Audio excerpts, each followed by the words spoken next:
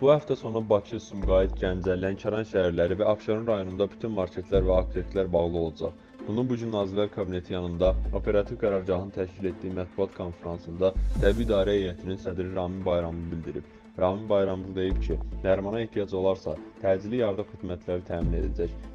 Fəaliyyətinə icazə verilən qurumların əməkdaşları öz avtomobilləri həmin qurumların xidməti maşınları ilə işə gətirilə bilər. İmkanı olmayan qurumlar isə Bakı Nəqliyyat Agentliyinə müraciət edə bilərlər. İşə icazə verilən qurumların əməkdaşları isə icazə.gov.az-dan qeydiyyatdan keçməlidirlər.